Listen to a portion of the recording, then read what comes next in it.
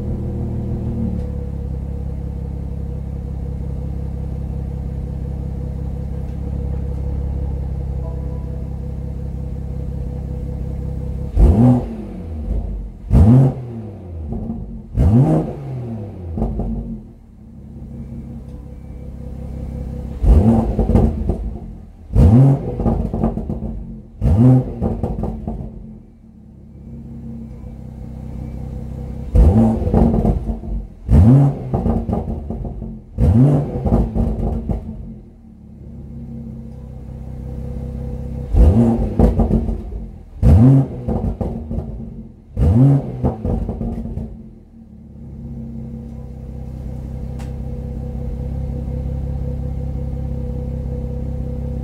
No idiots were harmed during the making of this video.